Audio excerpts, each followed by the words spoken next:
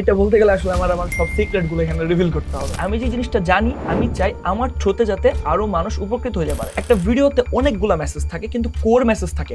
এখনের অডিয়েন্স এত পরিমাণে স্মার্ট তারা আই কানেকশন দেখেই বুঝে যেতে পারে যে উনি কি আসলে সত্য কথা বলতেছেন না মিথ্যা তো এমন কোনো প্রোডাক্ট সার্ভিস কিন্তু নাই যেটাতে হয়তো বা ছুটি ছুটি আপনি খুঁজে পাবেন না। মানে আপনি পুরো একটা প্ল্যাটফর্মের উপর নিজের কেরিয়ার এস্টাবলিশ করে ফেলতে পারেন। তাহলে অবভিয়াসলি আপনাকে চুজ করতে। তিনটা পিলার আমি চুজ করি। যে আমি শুধুমাত্র এই তিনটা পিলারের বাইরে কখনোই কথা বলব একটা পার্টিকুলার সুন্দর স্টোরি যেটা ওই প্রোডাক্টের সাথে একদম এক্স্যাক্টলি ম্যাচ হয়। এরকম কোনো প্রোডাক্টের সাথে যদি একটা স্টোরিকে অ্যাড করে দেওয়া যায় তাহলে ওই প্রোডাক্টটাকে ব্র্যান্ড বানায় ফেলা লাক্সারি প্রোডাক্টের অডিয়েন্সও তারা যারা নিজেদের নিজেদের একটা লাক্সারিয়াস ফিল করাইতে চায় বাট তারা আসলে রয় না এই যে এত কাজ কীভাবে করে? আমি আসলে টাইম কিনতে পছন্দ করি। ওয়ারেন বাফেটের একটা উক্তি আছে। তুমি তোমার পাঁচজন বা ছয়জন সার্কেলের ফ্রেন্ডকে যদি আমার সাথে পরিচয় করাই দিতে পারো আমি তোমার সম্পর্কে বলে দিতে পারব তুমি কেমন। এমন ভাবে আমিও বলি যে আমি যদি আপনার ইউটিউব ব্রাউজিং এর লাস্ট টেন ওয়াচিং ভিডিওস দেখতে পারি, তাহলে আমি বলে দিতে পারব আপনি কতটুকু হেলদি ওয়েলদি একটা লাইফস্টাইল যেটা কখনই আসলে চাকরি বাকরি করে করা সম্ভব না। আজকের এই শোতে আমরা আলোচনা করব পার্সোনাল ব্র্যান্ডিং এবং স্টোরি টেলিং এর মাধ্যমে আপনার লাইফের যে কোনো একটি দক্ষতাকে কাজে লাগিয়ে কীভাবে সময়ের স্বাধীনতা এবং অর্থনৈতিক স্বাধীনতা অর্জন করতে পারেন। আমাদের আজকের এই শোতে আমন্ত্রিত অতিথি হিসেবে উপস্থিত আছেন জনাব শাহরুজ ফার্দি, যিনি বিচ কেয়ার আইটির সম্মানিত ফাউন্ডার খুবই অল্প বয়সে তিনি ফ্রিল্যান্সার মেন্টর হিসেবে কেরিয়ার শুরু করলেও বর্তমানে e commerce story telling personal ব্র্যান্ডিংয়ের মতো গুরুত্বপূর্ণ ও কার্যকরী বিষয়গুলো নিয়ে হাজারেরও বেশি উদ্যোক্তাকে প্রশিক্ষণ দিয়ে আসছেন। আমরা ফার্দি ভাইয়ের কাছে চলে আসি। ফার্দি ভাই কেমন আছেন আপনি? আসসালামু আলাইকুম। জি আলহামদুলিল্লাহ ভালো আছি। আপনি কেমন আছেন? জি আলহামদুলিল্লাহ। আজকে আপনি তো রিসেন্টলি পার্সোনাল ব্র্যান্ডিং নিয়ে প্রচুর কাজ করছেন। এবং আমরা স্টোরি টেলিং নিয়ে দেখলাম যে আপনি খুব দারুণ দারুণ স্টোরি এবং অর্গানিক কন্টেন্ট প্রোভাইড করছেন রিসেন্ট টাইমে আমরা দেখলাম। তো এই স্টোরি টেলিং বা পার্সোনাল ব্র্যান্ডিংয়ের যে জার্নি এটি কীভাবে শুরু করলেন? আমাদেরকে যদি একটু জানাতেন। আচ্ছা শুরুটা যেভাবে আমার তো খুব যেহেতু আপনি শুরুতেই বললেন যে খুব অল্প বয়সে শুরু হয়েছে পার্সোনাল ব্র্যান্ডিংয়ের জায়গাটাতে যদি আমি আসি, তাহলে হচ্ছে আমি দু হাজার ষোলো সতেরো সাল থেকেই ফেসবুক ইউটিউব বিভিন্ন প্ল্যাটফর্মে কন্টেন্ট আপলোড করি। তো কন্টেন্টের আপলোডের থ্রুতে দেখা গেছে আমার কিছু ফলোয়ার বেস তৈরি হয়েছে। কিন্তু শুরুতেই আমি কিছু ভুল করি। আমি আজকে পডকাস্ট শুরুই করতে যাচ্ছি আমার কিছু ভুল দিয়ে। আচ্ছা আচ্ছা। যে সেটা হচ্ছে আমার শুরুর দিকে এই ভুলটা অনেকেই করে পার্সোনাল ব্র্যান্ডিং তৈরি করার ক্ষেত্রে। সেটা হচ্ছে এক এক সময় এক এক ধরনের ক্যাটাগরি নিয়ে কাজ করে।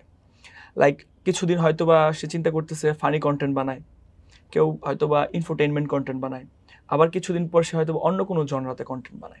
আমিও শুরুর দিকে এই কাজটাই করছি। যে বিভিন্ন মাল্টিপল যখনই মনে হয়েছে যে আহ, হয়তো বা ফানি কন্টেন্টের অনেক ভালো একটা ভবিষ্যৎ আমি ফানি কন্টেন্ট ক্রিয়েট করার ট্রাই করছি। তারপর চিন্তা আচ্ছা। করছি টিউটোরিয়াল কন্টেন্ট মেক করব। এই ভুলটা আমি নিজেও করেছি। আচ্ছা আচ্ছা। কিন্তু আস্তে আস্তে আমি যখন বুঝতে পারলাম যে না আমাকে একটা পার্টিকুলার নিশের উপর স্টিক থাকতে হবে। যেমন সেক্ষেত্রে তিনটা পিলার আমি চুজ করি। যে আমি শুধুমাত্র এই তিনটা পিলারের বাইরে কখনোই কথা বলব না। Pillar. Means number one personal finance number two marketing number three business. আপনি আমার যত ধরনের কন্টেন্ট আপলোড হয় বিভিন্ন সোশ্যাল মিডিয়াতে সবগুলোর বেসমেন্টই থাকে এই তিনটা বিষয়ের উপরে। কীভাবে আপনি ইনভেস্ট করতে পারেন কোথায় ইনভেস্ট করতে পারেন কীভাবে মানি ম্যানেজমেন্ট করতে পারেন পার্সোনাল ফাইন্যান্স কেন আপনার জানা উচিত কোন ধরনের বিজনেস করা উচিত কোন ধরনের বিজনেস করা উচিত না বিজনেস করার ক্ষেত্রে কী কী ধরনের ভুল হয় যখন আমি এই জিনিসটা বুঝতে পারলাম যে আমার একটা পার্টিকুলার পিলার থাকা উচিত যেগুলোর উপর আমি মূলত কথা বলব আদারওয়াইজ আমি আর কোনো টপিক নিয়ে কথা বলব না। আচ্ছা, দেশে আচ্ছা। কি হচ্ছে? ওই ব্যাপারে আমার কথা বলা যাবে না। কোথায় কি হচ্ছে কোন জায়গায় কোনো সমস্যা হচ্ছে কিনা পলিটিক্যাল কোনো বিষয় এ ব্যাপারে আমি কথা বলব না। বা আমি কোনো ফানি কন্টেন্ট ক্রিয়েটর কেউ কাউকে রোস্ট করছে বা অন্য কোনো ধরনের কন্টেন্টে আমি কখনোই এক জনরাতে কথা বলব না। আচ্ছা, আমি শুধুমাত্র কথা বলব এই তিনটা জনরার উপরই। এবং যখন থেকে আমি জিনিসটা রিয়েলাইজ করলাম এবং সাথে সাথে আপনি যে বললেন স্টোরি টেলিংয়ের ইমপ্লিমেশন এটা যখন থেকে শুরু করলাম তখনই জাস্ট আমার যে পার্সোনাল ব্র্যান্ডিংয়ের ব্যাপারটা অনলাইনে ছিল। দেখেন পার্সোনাল ব্র্যান্ডিং কিন্তু আলাদা বিষয়। আমরা ভাবি আচ্ছা। প্রত্যেকটা কন্টেন্ট ক্রিয়েটরই হয়তো বা পার্সোনাল ব্র্যান্ডিং করতেছে। ব্যাপারটা ওই অ্যাঙ্গেলে না। যেমন পার্সোনাল ব্র্যান্ড হইতে গেলে যেটা আমরা বলি কন্টেন্ট ক্রিয়েটর ইনফ্লুয়েন্সারের ব্যাপারটা পার্সোনাল ব্র্যান্ড আপনি তখনই হবেন এটা কীভাবে বুঝবেন? পার্সোনাল ব্র্যান্ড আপনি তখনই হবেন যখন আপনি বুঝতে পারবেন যে আপনার কথার দ্বারা মানুষ প্রভাবিত হচ্ছে। প্রভাবিত আচ্ছা, আচ্ছা। মিন্স কি? লাইক আপনি হয়তো বা কাউকে বলতেছেন যে আগামীকাল আমার একটা নতুন বই বের হবে তোমরা সবাই বইমেলায় আসতে পারো। তো আপনি দেখেন সেখানে অনেক মানুষ চলে আসছে। দ্যাটস মিন আপনার কথায় মানুষ প্রভাবিত হচ্ছে। আচ্ছা আচ্ছা। আপনি হয়তোবা কোনো একটা প্রোডাক্ট লঞ্চ করলেন কোনো একটা কোর্স লঞ্চ করলেন বা আপনার কোনো একটা ই কমার্সের জন্য কোনো একটা প্রোডাক্ট আছে হয়তো আপনি মধুই বিক্রি করেন। আপনার একটা কথায় হিউজ পরিমাণ মধু সেল হয়। আপনার একটা কথায় অনেক মানুষ কোর্স এনরোল নেয়। আপনার একটা কথা আপনার একটা বই অনেক বেশি বিক্রি হয়ে যায়। বা আপনি একজন পার্সোনাল ব্র্যান্ড হিসেবে কোনো একটা বিজনেসের সাথে কানেক্টেড হলেন এবং হওয়ার পর ওই বিজনেসের গ্রোথ অনেক বেশি বেড়ে গেল। আচ্ছা দ্যাটস মিন আপনি এখন আসলে অরিজিনাল একজন পার্সোনাল ব্র্যান্ড হতে পারছেন। আর এখন তো পার্সোনাল ডিজিটালাইজেশনের যুগ, এখন তো পার্সোনাল ব্র্যান্ডিং আগে ঘরে ঘরে যে মানুষের সাথে করার কোনো অবকাশ নেই। সো আপনাকে অনলাইনে বিভিন্ন সোশ্যাল মিডিয়ার যে প্ল্যাটফর্মগুলো আছে ফেসবুক ইউটিউব টিকটক বা অন্যান্য প্ল্যাটফর্ম এগুলোর মাধ্যমে আসলে আমার পার্সোনাল ব্র্যান্ডটা আমি বড় করতেছি এবং অন্যদেরও এভাবেই আসলে বড় করা উচিত। আচ্ছা আচ্ছা। এই এই সাম্প্রতিক সময়ে আমরা আসলে এই পার্সোনাল ব্র্যান্ডিং বা স্টুডি টেলিং নিয়ে তো একদম নিউ আমরা জানতেছি যে এগুলো নিয়ে কাজ করা দরকার বা অনেকেই করার চেষ্টা করছেন। আপনি এর মধ্যে অন্যতম একটা প্রতিকৃতি হিসেবে এই জায়গায় কাজ করছেন। তো আসলে আমাদের দেশে যারা উদ্যোক্তা, তাদের কি পার্সোনাল ব্র্যান্ডিং তৈরি করাটা অনেক বেশি গুরুত্বপূর্ণ? বা এটা করলে তারা কি তাদের ব্যবসায়িক সেলসের ক্ষেত্রে বা ওভারঅল ডেভেলপমেন্টের ক্ষেত্রে পজিটিভ কোনো ইম্প্যাক্ট আসবে? আপনার মতামত কি এই বিষয়ে? আমি গুরুত্বপূর্ণ এটা বলব না। পার্সোনাল ব্র্যান্ডিং এর কোনো বিকল্পই নেই এই সময়। আচ্ছা আচ্ছা। বিকল্প নেই কেন বলতে চাচ্ছি? আমি যদি ই কমার্সের কথা বলি আমি ই কমার্সের একটা এক্সাম্পল আনতে চাই। আপনি জমশেদ মজুমদারের নাম অবশ্যই শুনেছেন। হ্যাঁ হ্যাঁ। ঘরের বাজারে ঘরের বাজার। তো উনি কিন্তু মাসে কোটি কোটি টাকার সেল জেনারেট করতেছেন। কীভাবে করতেছে? ঘরের বাজারকে যতটা না মানুষ চিনে তার চেয়ে বেশি মানুষ জমশেদ মজুমদার ভাইকে চিনে। হ্যাঁ। এবং আপনি ফলো করলে দেখতে পারবেন সে যখন কন্টেন্ট আপলোড করে অ্যাড চালানোর আগে আমরা যেটা ফেসবুক অ্যাডের মাধ্যমে আমাদের ই কমার্স ব্যবসা বা অন্যান্যরা যারা ব্যবসা করে ফেসবুক অ্যাড ক্যাম্পিং করার আগে সেটাতে কয়েক লাখ ভিউ চলে আসে। হ্যাঁ তাই হয়। এই যে কয়েক লাখ ভিউ চলে আসে এই ভিডিও কিন্তু একদম অর্গানিক এবং অর্গানিক ভিউ আসলে তখনই হয় যখন মানুষ ওই কন্টেন্টটা পছন্দ করে। আমি যারা ই কমার্সের যেহেতু কথা আসছে আমি আরেকটু ইন ডিপতে ব্যাপারটা বোঝানোর চেষ্টা করি। আমরা যেহেতু যেই ব্যবসায় করতে চাই বর্তমানে কন্টেন্টের তো কোনো বিকল্প নেই এটা সবাইকে এগ্রি করতে হবে কন্টেন্টের কোনো বিকল্প নেই। তখন প্রশ্ন হচ্ছে শুধু কন্টেন্টের না ভালো কন্টেন্টের কোনো বিকল্প নেই। আমরা ই কমার্স উদ্যোক্তারা বা যারা ডিজিটাল এন্টারপ্রেনিয়র যে কোনো ব্যবসার ক্ষেত্রে আমরা যখন কন্টেন্ট বানাই আমরা আসলে এই জিনিসটি ফাইন্ড আউট করতে পারি না আমাদের কি ব্যাপারে কন্টেন্ট বানানো উচিত এবং কেন এই কন্টেন্টটা একজন মানুষ দেখবে। এবং এখানে কিন্তু দেখেন যখন একজন ফেসবুক কন্টেন্ট ক্রিয়েটর বা একজন ইউটিউব কন্টেন্ট ক্রিয়েটর যখন কন্টেন্ট বানায় তার মেন গোল হচ্ছে অনেক বেশি পরিমাণে ভিউজ দরকার। আচ্ছা। কিন্তু আমাদের কিন্তু মেন গোল অনেক পরিমাণে ভিউজ না। আমাদের মেন গোল হচ্ছে আমরা যাতে আমাদের ওই কন্টেন্টের থ্রুতে হিউজ পরিমাণ প্রোডাক্ট সেল করতে পারি সেটা আমাদের যে প্রোডাক্টই হোক। হ্যাঁ। এখন এই জায়গায় একটা ভালো কন্টেন্ট আমরা বানাতে পারি না। আমরা প্রথমে যে কাজটা করি হয়তো বা দশ হাজার পাঁচ হাজার পঞ্চাশ হাজার যার যেমন বাজেট থাকে সে বাজেট দিয়ে একটা কন্টেন্ট বানায়। বানানোর পর ফেসবুকে সেটা অ্যাড ক্যাম্পিং করে। ওটাও তার বাজেট অনুযায়ী কেউ পাঁচ ডলার কেউ দশ ডলার পঞ্চাশ ডলার পাঁচশো ডলার এখন এই যে পাঁচশো ডলার কেউ ইনভেস্ট করল এখন সে মেজার করার চেষ্টা করে যে আসলে এখান থেকে তার কি পরিমাণ আরও আসলো সে কতটুকু প্রফিট করল কতটুকু লস হলো। কিন্তু এই সেম জিনিসটাই আপনি without any ad campaign measure করতে পারবেন আপনি এই ভিডিওটা থেকে কি পরিমাণ লাভবান হবেন। সেটা আচ্ছা, আচ্ছা। করার জন্য একটাই প্রক্রিয়া। সেটা হচ্ছে যখন আপনি দেখবেন একটা কন্টেন্ট আপনি আপলোড করছেন ফেসবুক ইউটিউব আর টিকটক ওই কন্টেন্টটা যদি অর্গানিক ভিউ পাওয়া শুরু করে, এবং এটা যদি একটা ভালো হ্যান্ডসাম অ্যামাউন্টের ভিউ পায় দ্যাটস মিন বুঝতে হবে এই কন্টেন্টটার জন্যই এখন অ্যাড ক্যাম্পিং করা দরকার। কারণ ফেসবুক ইউটিউব টিকটকের অ্যালগোরিদম যেরকমই হোক, প্রত্যেকটা প্ল্যাটফর্মই চায় তার প্ল্যাটফর্মে আপলোড হওয়া কন্টেন্ট যাতে মানুষ বেশিক্ষণ সময় ধরে দেখে। যে কন্টেন্টগুলো বেশিক্ষণ সময় ধরে দেখে ওই কন্টেন্টগুলাই কিন্তু ফেসবুক ইউটিউব টিকটক আরও বেশি মানুষের কাছে রিচ করার ট্রাই করে। আচ্ছা আচ্ছা। তার মানে দ্যাটস মিন আপনার কন্টেন্ট যদি ভালো হয় তার মানে অবশ্যই ফেসবুক সেই কন্টেন্টটাকে বেশি মানুষের কাছে নিয়ে যাবে। যখন বেশি মানুষের কাছে নিয়ে যাবে এবং ওই কন্টেন্টটা যদি আপনার প্রোডাক্ট ওয়াইজ থাকে তার মানে আপনার প্রোডাক্ট সেল হবে। এখন যখন অর্গানিকলি ভিউ হচ্ছে অর্গানিকলি সেলস হচ্ছে তার মানে এখন যদি আপনি এটাকে অ্যাড ক্যাম্পিং করেন এটাই হচ্ছে রাইট কন্টেন্ট যেটার উপর আপনার ইনভেস্টমেন্ট করা উচিত।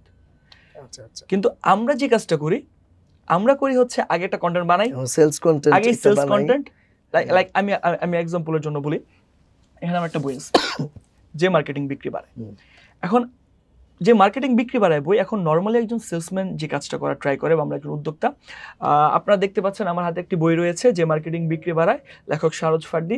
এই বইটা মূলত হচ্ছে আপনার একশো দশ পৃষ্ঠা এবং এই দশ পৃষ্ঠার ভিতরে এখানে একটা বুক মার্ক আপনি দেখতে পারবেন। এখানে সূচিপত্রগুলো হচ্ছে এই এই বইটা কিনলে আপনি আগামীকাল থেকে আপনার কোটি কোটি টাকার সেলস জেনারেট করতে পারবেন। সো এইভাবে আসলে উদ্যোক্তারা কন্টেন্টটা বানায়।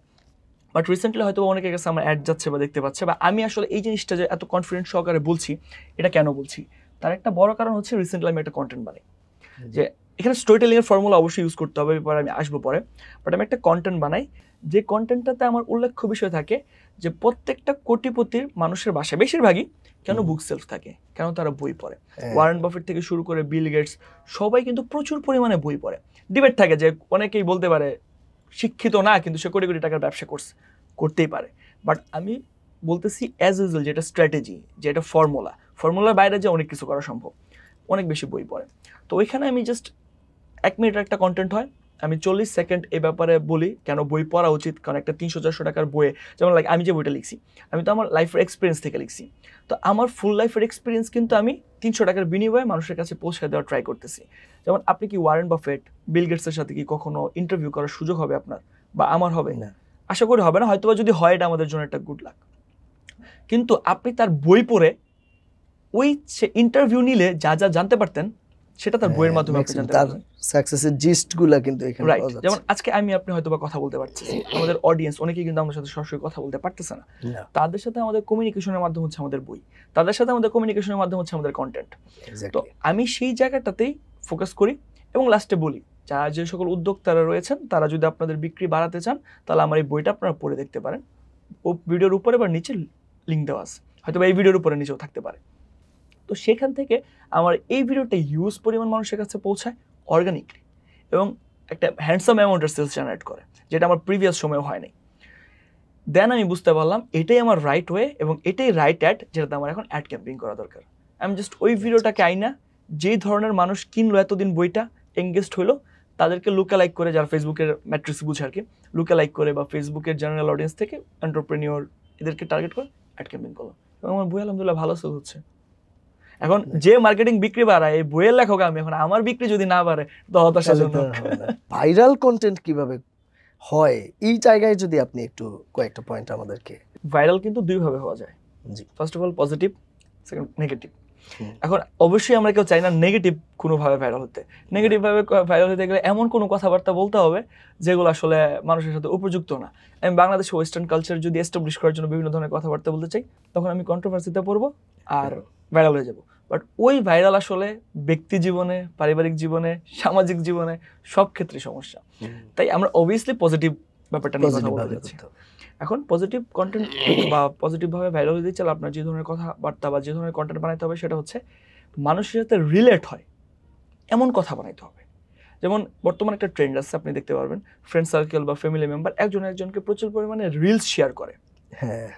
রিলস শেয়ার করার কারণ হচ্ছে রিলসে খুব শর্ট মেসেজ থাকে। হয়তো বা দুই লাইন তিন লাইন বা দেখা যাচ্ছে একটা কন্টেন্ট বা একটা বাইকে করে চার বন্ধু যাচ্ছে বা একটা গাড়িতে করে চার বন্ধু যাচ্ছে আড্ডা দিচ্ছে বা একটা পাহাড়ের মধ্যে বসে খুব সুন্দর একটা ভিউ বা দেখা যাচ্ছে হাজব্যান্ড ওয়াইফকে শেয়ার করতেছে বা ওয়াইফ হাজব্যান্ডকে শেয়ার করতেছে যে সমুদ্র পাড়ে দুজন একসাথে হাঁটতেছে।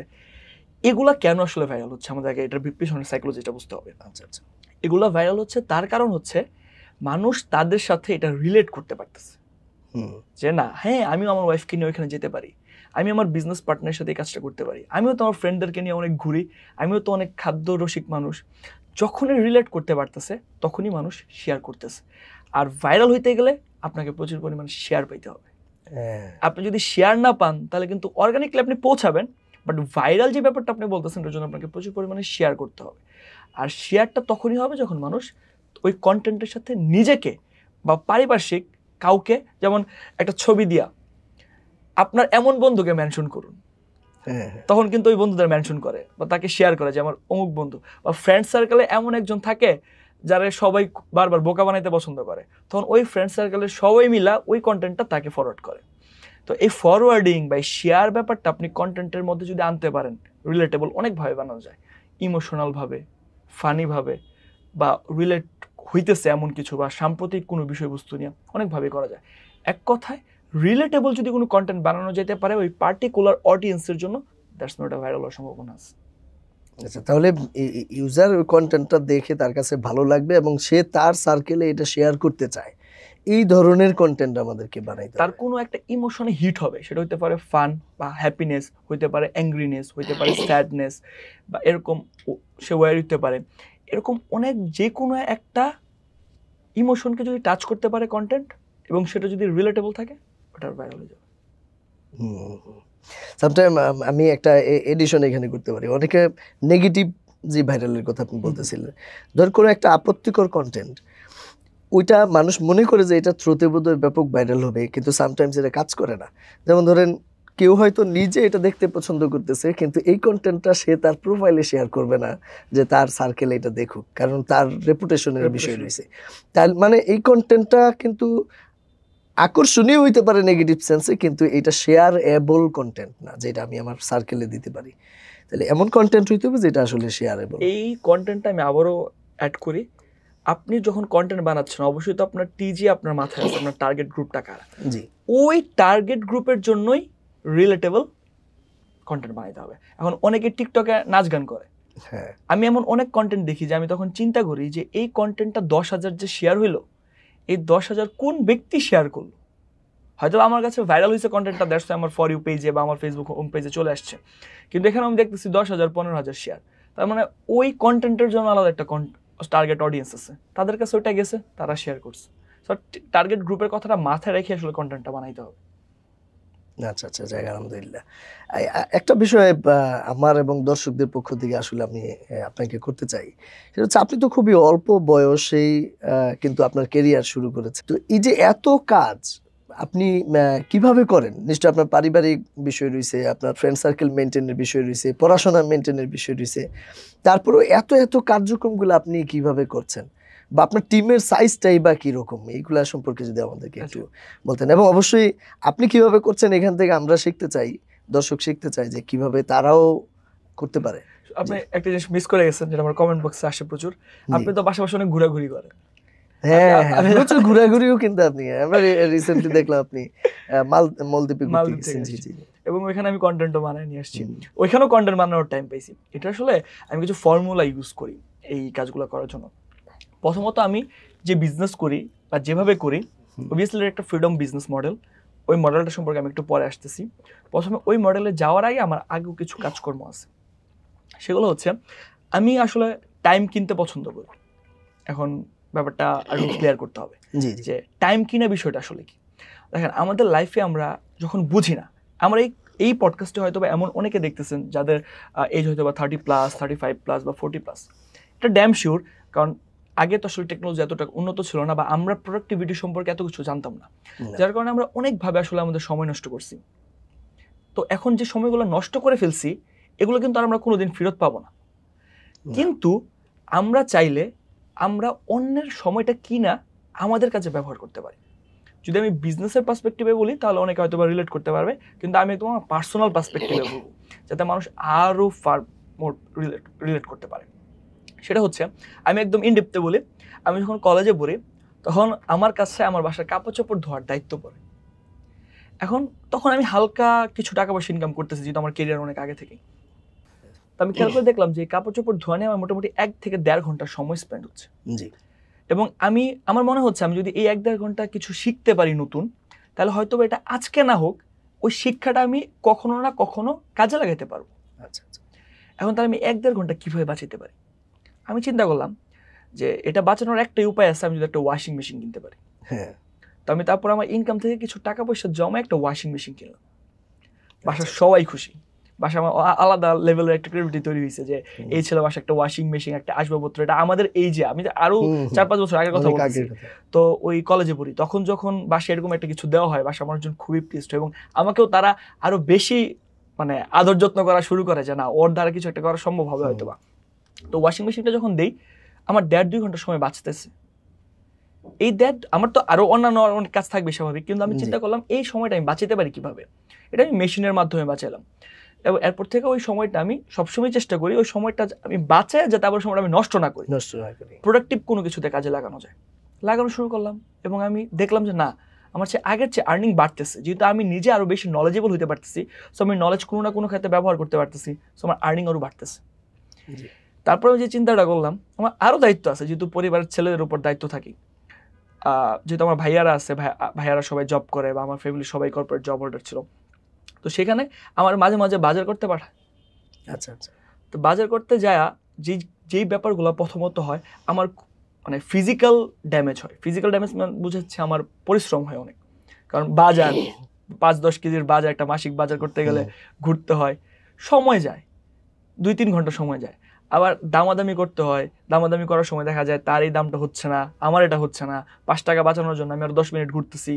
আমাদের মিডিল ক্লাস ফ্যামিলি থেকে আমরা যারা বিলং করি তাদের এই টেন্ডেন্সিটাই থাকে যে আমরা যেভাবেই পারি যে পঞ্চাশ টাকা বাঁচানোর জন্য হয়তো আমরা এক ঘণ্টা বাজার আমি এটাকে নেগলেক্ট করতেছি না এটা অবভিয়াসলি বাট এটা থেকে বের হয়ে আসাটা উচিত। আচ্ছা। তো আমি দেখলাম যে কিছুদিন পরেই অনলাইনে বাজার ডেলিভারি করে একটা প্ল্যাটফর্ম আমাদের এখানে খুব পপুলার হওয়া শুরু করল। আমি চিন্তা করলাম যে না আমি আর এই বাজারে যাব না আমি অনলাইনে বাজার করাবো। আচ্ছা আচ্ছা। হয়তোবা তারা একশো টাকা দুশো টাকা বেশি চার্জ নেয়। কিন্তু ওই যে আমি যে মানসিক প্রেশার আমার রিলিফ হচ্ছে আমার ফিজিক্যাল প্রেশার রিলিফ হচ্ছে আমার টাইম সেভ হচ্ছে আমি আরও এক দুই ঘণ্টা বাঁচাইতে পারতেছি। কোনো একটা প্রোডাক্টিভ কাজে কোন একটা প্রোডাক্টিভ আর আমার প্রোডাক্টিভ কাজ মানে আমি পডকাস্ট দেখি এখন পোস্ট পডকাস্ট দেখি আগে লং ভিডিও দেখতাম বা বই পড়তাম বা কোর্স করতাম এগুলো। তো এই যে যে কাজগুলো করতেছে আমার সময় বাঁচতেছে। তার মানে আমি একটা পার্টিকুলার টাইমের এগেনস্টে আমি অন্যের টাইম কিনে নিতেছি তাকে আমার কাজগুলো ডেলিগেট করতেছি আর আমি আমার প্রায়োরিটি লিস্ট করছি যে আমার সবচেয়ে ইম্পর্ট্যান্ট কাজগুলো কী কী। আমার সবচেয়ে ইম্পর্ট্যান্ট কাজ আমার ব্যবসা বাণিজ্য নিয়ে স্ট্র্যাটেজি বের করা তারপরে হয়তো বা আমার কন্টেন্ট প্ল্যানিং করা তারপর হয়তো বা আমার ফ্যামিলিকে সময় দেওয়া তারপর হয়তো বা আমার ফ্রেন্ড সার্কেলের সময় দেওয়া। তো এইগুলা তো এখন আমি টপ প্রায়োরিটি লিস্টের কাজগুলো করতেছি যেগুলো আমার লাইফে ভ্যালুয়েট করে।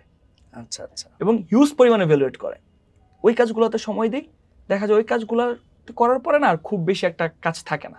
যেমন আমার বাজার করতে হয় না কাপড় চোপড় ধুইতে হয় না। এখন তো আরও সব বাসায় অত্যাধুনিক জিনিসপত্র থাকার কারণে এখন আমি অনেক টাইম সেভ করতে পারি এবং পুরো টাইমটা আমি আমার ফ্যামিলিকে দেই ঘুরি ট্রাভেল করি। সবচেয়ে বড় ব্যাপার হচ্ছে আমি যে ফ্রেন্ড সার্কেলের ব্যাপারটা বললেন আমি আমার ফ্রেন্ড সার্কেলদেরকে নিয়ে একটা টিম বানাই ফেলছি। হ্যাঁ, আমরা ফ্রেন্ড সার্কেলরা যখন যেখানে যাই একসাথে মুভ করি বিজনেসের ব্যাপারে ডিসকাশন করি আইডিয়ার ব্যাপারে ডিসকাশন করি প্লাস আমাদের আড্ডা হয়, আমরা ঘুরতেছি এবং আমরা একই জন্ডার হওয়ার কারণে আমরা বিজনেস নিয়ে টক করতেছি, অন্য কোনো টপিক না। যে কি হচ্ছে যে আমি যেটা বললাম পার্সোনাল ব্র্যান্ডিংয়ের ক্ষেত্রে ব্যাপারটা সবসময় আমি রিলেট করে ট্রাই করি যে আমি তাদের সাথে কথাবার্তা বলতে পার্সোনালি পছন্দ করি যারা ব্যবসা বাণিজ্য নিয়ে কথা বলে যারা বিজনেস নিয়ে কথা বলে যারা হয়তো বা মার্কেটিং নিয়ে কথা বলে ইনভেস্টিং নিয়ে কথা বলে পার্সোনাল ফাইন্যান্স নিয়ে কথা বলে। এই মানুষদের সাথে মিশতে আমি খুব পছন্দ করি। আমার ফ্রেন্ড সার্কেলেরাও ঠিক এরকম টিমটাও এরকম। ওইখান থেকে আরও প্রোডাক্টিভ জিনিসপত্র বের হয়। তার মানে ঘোরার ক্ষেত্রে আমি আমার টাইমটা সেভ করে নিতেছি। আচ্ছা আচ্ছা। এবার আমি আপনার এখানে যখন আসতেছিলাম দুই ঘণ্টা আমার জেমে বসে থাকতে হয়েছে গাড়িতে। জি।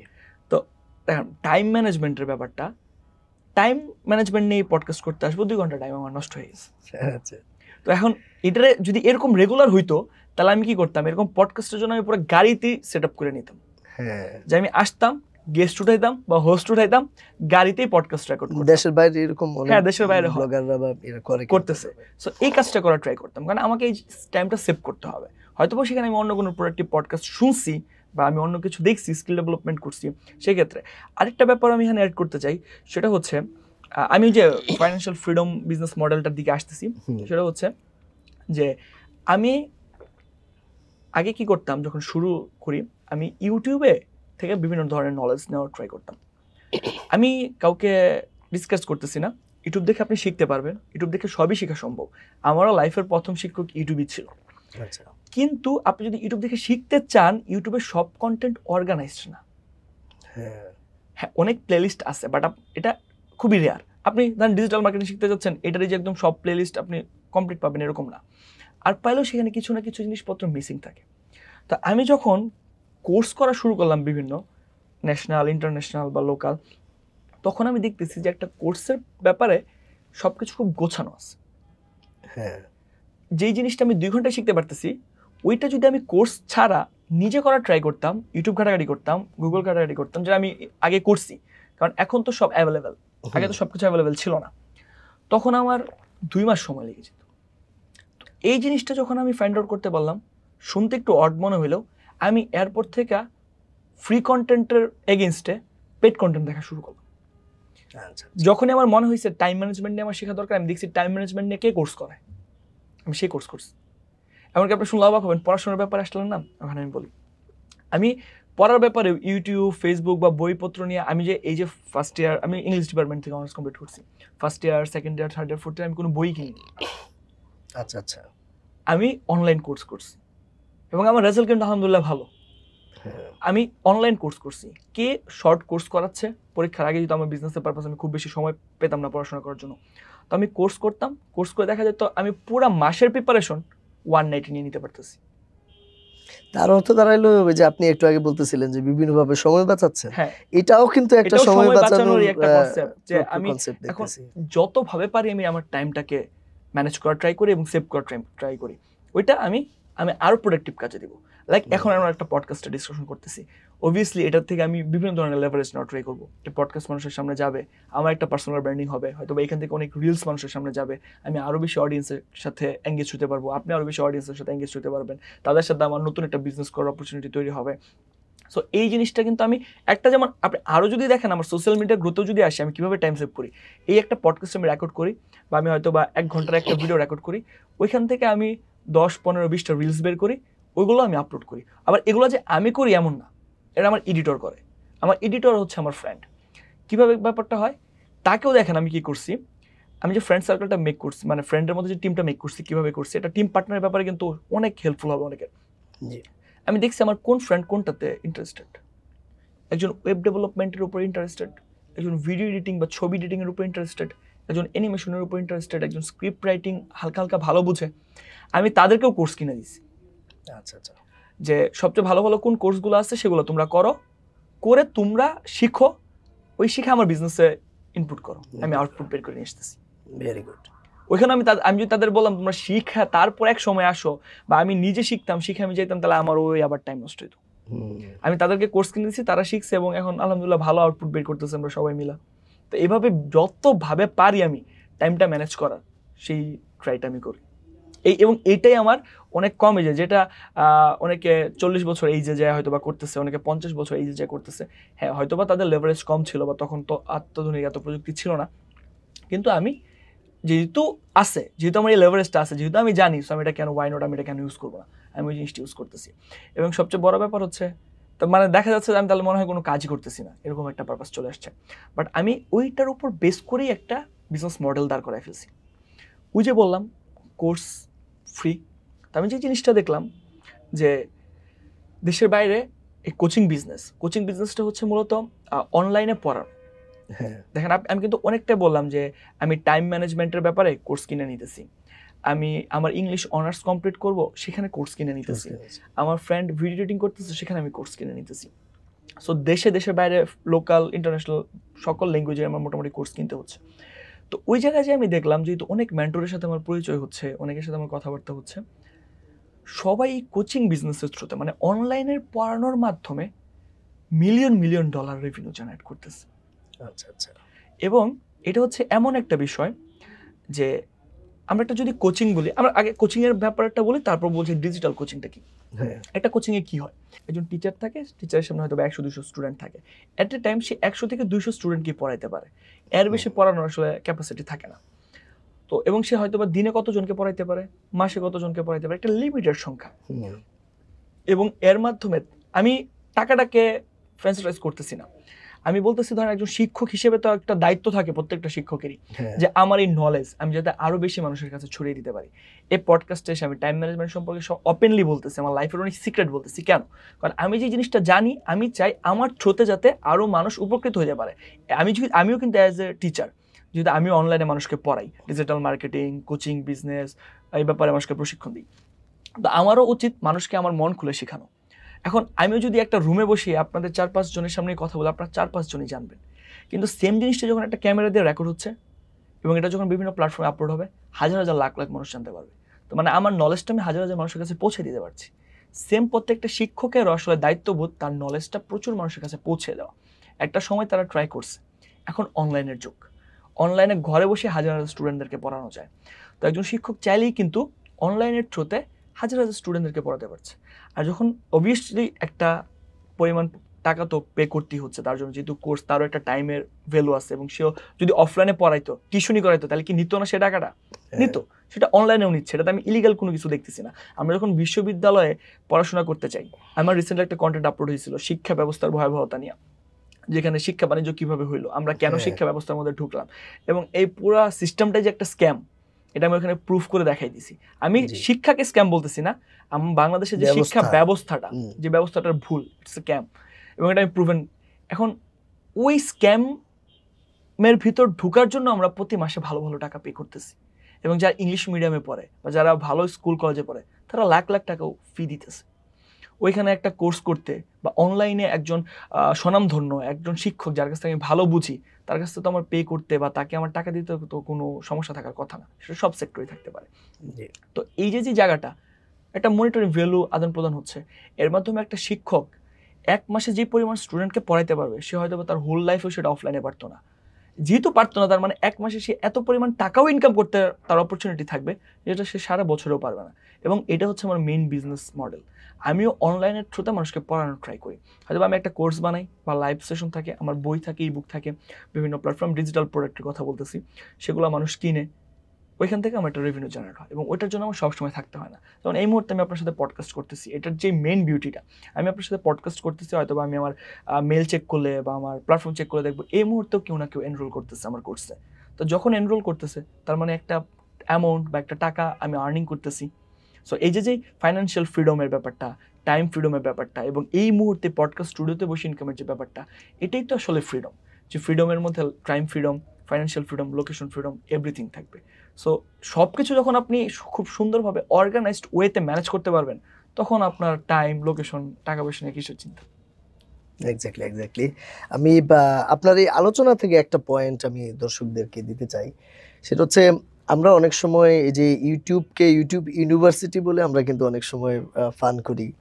এবং পেইড কোর্স আপনি কখন করবেন, কখন আপনি ইউটিউব দেখবেন, এই জায়গায় আমি একটু হেল্প করতে চাই। সেটা হচ্ছে ধরেন আপনি এক নম্বর বিষয় হওয়া উচিত আমাদের যে আমরা কীভাবে আমাদেরকে স্বাস্থ্য সচেতন রাখব। ধরেন আমি স্বাস্থ্য ভালো রাখতে চাই। তাহলে যখন আপনি নিজে ডিসিশন মেক করবেন যে আপনি স্বাস্থ্য সচেতন থাকবেন এবং স্বাস্থ্যটাকে ভালো রাখবেন, তখন আপনার সামনে যদি কোনো একটা বুফে খাবারের ব্যবস্থা আসে, আপনি কিন্তু সেখান থেকে বাছাই করে করে যেইগুলা স্বাস্থ্যের জন্য ভালো, ওইগুলা খাবেন। বাকি বিষয়গুলো কিন্তু আপনি খাবেন না। তো যার এই স্বাস্থ্য সচেতন হওয়াটা ইম্পর্টেন্ট এই ডিসিশন নাই, তিনি কিন্তু অগুছালোভাবে সব কিছু খেতে থাকেন। এক্স্যাক্টলি ইউটিউবে বুফে খাবারের মতো কিন্তু প্রচুর পরিমাণে শিখার ম্যাটেরিয়ালস রয়ে গেছে। এইটা থেকে উপকৃত হওয়ার পূর্বে যদি আপনি আপনি যেই টপিকে নিজেকে তৈরি করতে চান, যেই জায়গায় স্কিল বিল্ড করতে চান বা কেরিয়ার বিল্ড করতে চান সেইটা যদি কোনো একটা পেইড কোর্সের মাধ্যমে আপনি একটা ফ্রেমওয়ার্ক বা ফরম্যাট আপনার মধ্যে নিয়ে নেন, তখন আপনি কিন্তু বুঝতে পারেন যে আপনার জন্য কোন বিষয়গুলা ভালো, কোন বিষয়গুলা মন্দ এবং কোনগুলা দরকার। ওই অবস্থায় আপনি যদি ইউটিউবে সার্চ করেন, দেখবেন যে আপনি কিন্তু অনেক ধরনের তথ্য উপাত্ত বা অনেক রিলেটেড আইডিয়াসগুলো ওখান থেকে পাবেন। এগুলো কাজে লাগবে। ইরিলেভেন্ট জিনিসগুলাতে আপনি তখন কিন্তু কম যাবেন। তো এভাবে আমার কাছে মনে হয় যে কোনো একটা পেইড কোর্সের সাথে ইউটিউবকে আমরা পরিপূরক হিসাবে ইউজ করতে পারি।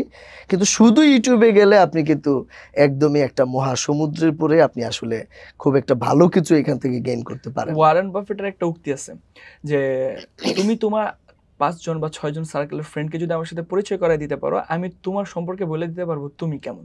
তেমনভাবে আমিও বলি যে আমি যদি আপনার ইউটিউব ব্রাউজিং এর লাস্ট টেন ওয়াচিং ভিডিওস দেখতে পারি তাহলে আমি বলে দিতে পারব আপনি কতটুকু নলেজেবল এক্স্যাক্টলি এক্স্যাক্টলি সো এই জন্য এই এই ব্যাপার এই ব্যাপারটাও অ্যাড করা যে ইউটিউব থেকে বেসিক নলেজ নিতে পারে বাট খুব অ্যাডভান্স নলেজ নিতে চাইলে এবং আমি তো কিন্তু ইউটিউবটাকে ডিসকাস করি না। আমি শুধু বলছি যে টাইম যদি সেভ করতে চায় তাহলেই কোর্সে আসা উচিত। ইউটিউবে হয়তো সে পাবে এক্স্যাক্টলি পাবে কিন্তু অনেক টাইম নিতে হবে আর আমাদের যে ডিস্ট্রাকশনটা থাকে আমরা তো বারবার ডিস্ট্রাকশন পড়ে যাই। আমরা হয়তো একটা ভিডিও দেখতে চাচ্ছি নিচে আরেকটু চটকদার একটা থামলাইন একটা টাইটেল আছে ওটাতে ক্লিক করে ফেলি। মানে আমি একটা প্রোডাক্টিভিটির ভিডিও দেখতেছি হয়তো বা বিশ মিনিটের ভিডিও দশ মিনিট আসছি শেষ করে দেখলাম তামিম ইকবাল কি করছে। দেখে আসি আমরা খেয়ে হারায় ফেলতেছি। তারপর আরেক জায়গায় চলে যাচ্ছি। সো এই জিনিসটা হয়তো আপনি একটা কোনো কোর্সে আপনার হবে না। কারণ একটা প্ল্যাটফর্মে ঢুকবেন সিরিয়ালাইজ কন্টেন্ট থাকবে, একটা পর একটা পর একটা দেখবেন। যাক আলহামদুলিল্লাহ আমরা অনেকগুলা বিষয় অলরেডি জানতে পারলাম। একটু ডিফারেন্ট টপিকে আবার একটু আসতে চাই। কোনো একজন উদ্যোক্তা তার যে ব্র্যান্ডটা তৈরি করবে, এখন এই ব্র্যান্ডের মধ্য দিয়ে সে তো বিভিন্ন মেসেজ দিবে। যেমন অনেক সময় আমরা দেখি যারা ধরেন ফিশ মিট নিয়ে কাজ করছে, তারা হয়তো বলতেছে যে, আমার মাছটাই হচ্ছে ফ্রেশ এবং কেমিক্যাল ফ্রি বা একজন শু বিজনেসম্যান সে হয়তো বলতেছে যে আমার জুতাই হচ্ছে কমফোর্টেবল সবচেয়ে। তো এই জাতীয় ইউএসপি বিল্ড করতে যায়, অনেকেই কিন্তু সিমিলার টাইপের ইউএসপি বিল্ড করে সমানে বলতেছে। এখন বলাতে মানুষ কিন্তু কনফিউজ যে কার কাছ থেকে আসলে নিব। এইখানে আসলে একটা গ্রহণযোগ্যতা বা বিশ্বাসযোগ্যতার একটা বিষয় তো রয়েছে, যে ইউজার কার কথাটাকে বিশ্বাস করবে।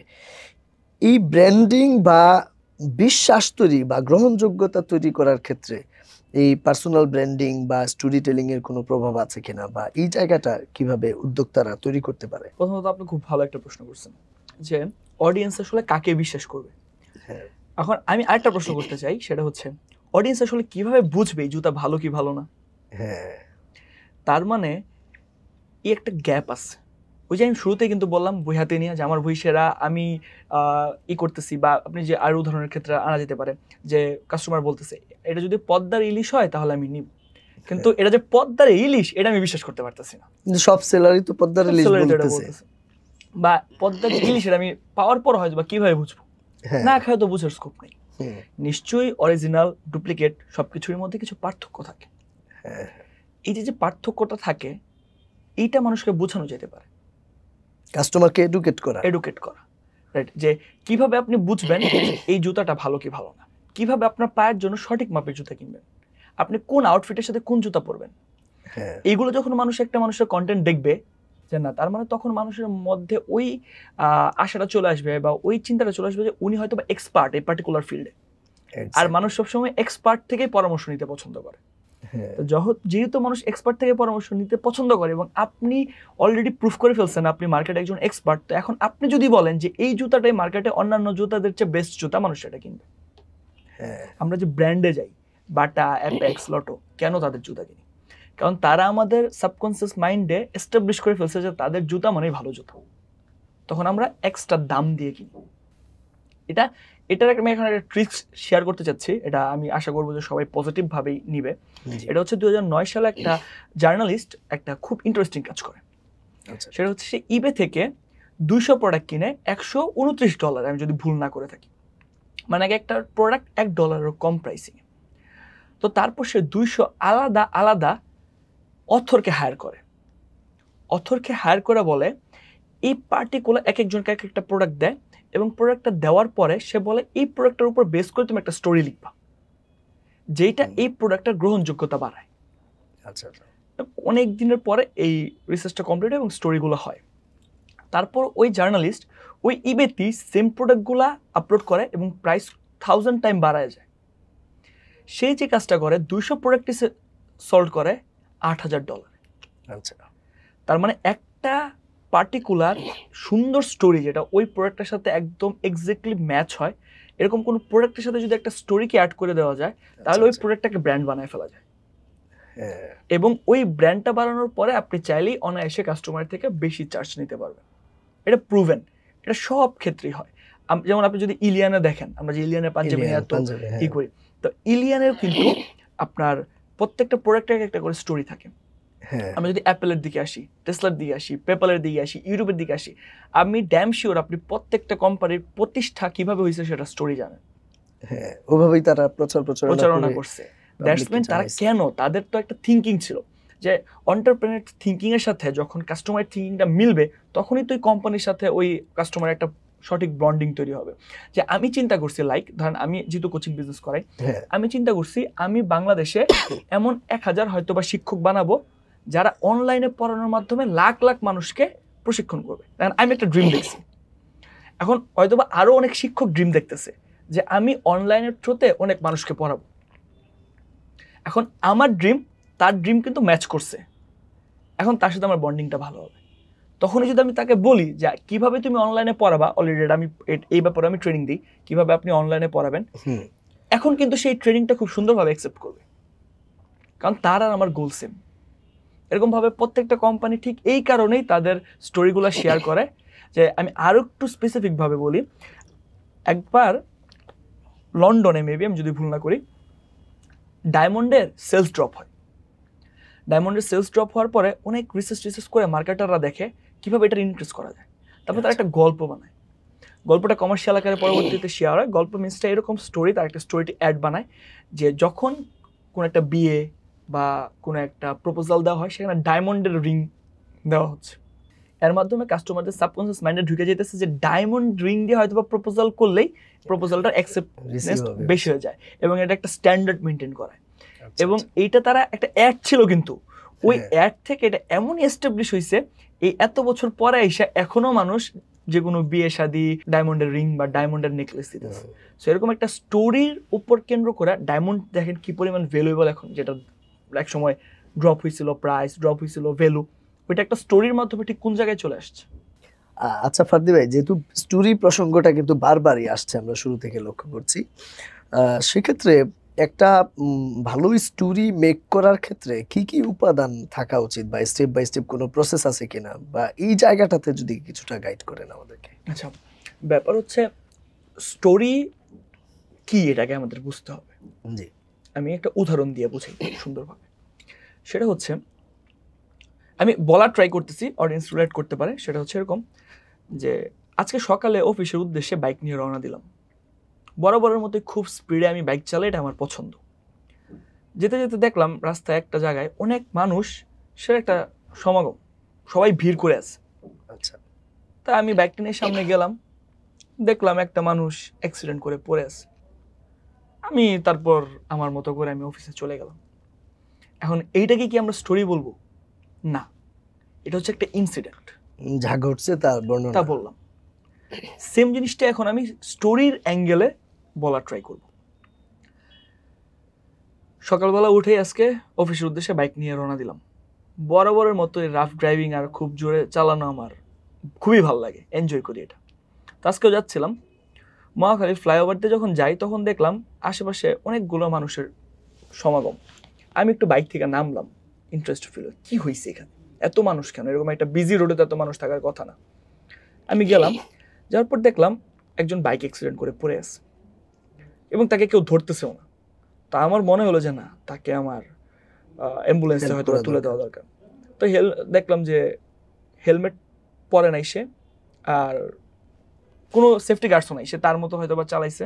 রাফ বাইক স্পোর্টস বাইক চালাচ্ছে। তো আমি তাকে অ্যাম্বুলেন্সে তুললাম। দেখলাম আমার মতোই বয়স। যখন তাকে অ্যাম্বুলেন্সে তুলে দিচ্ছিলাম, তার শরীরের রক্তগুলো আমার শার্ট টাটে লাগছে। তখন আমার একটু আনইজি ফিল হচ্ছিল।